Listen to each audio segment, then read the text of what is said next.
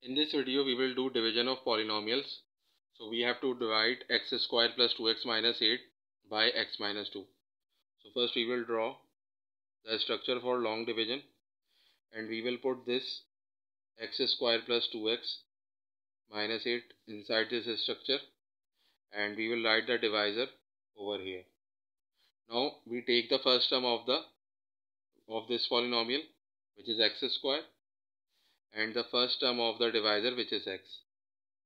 So x square upon x is x to the power 1 or x by the rule of indices. If we divide two variables and if variables are same then power will be subtracted.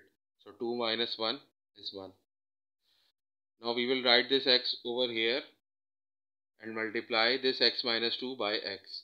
So x times x is x square and x times minus 2 is minus 2x. Now we will subtract this polynomial from this polynomial so we will change the sign of each term. So this is plus x squared so it will become minus x squared and minus 2x will become plus 2x. Now x squared minus x squared is 0 and 2x plus 2x is 4x.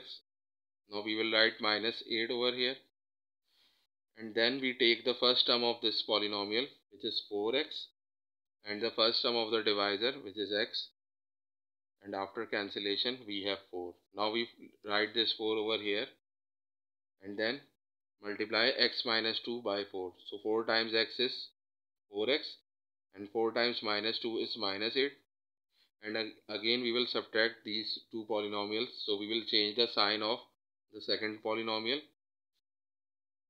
So plus 4x become minus 4x and minus 8 become plus 8.